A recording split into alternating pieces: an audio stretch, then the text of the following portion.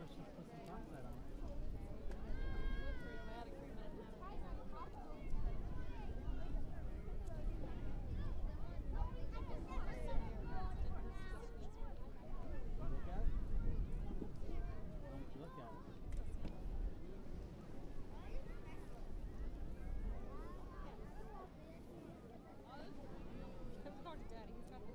What does she want?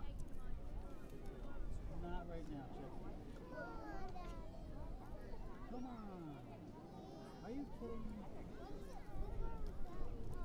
Kate, you're going on a big diet when you get a girlfriend. You gotta go on a healthy diet. Huh.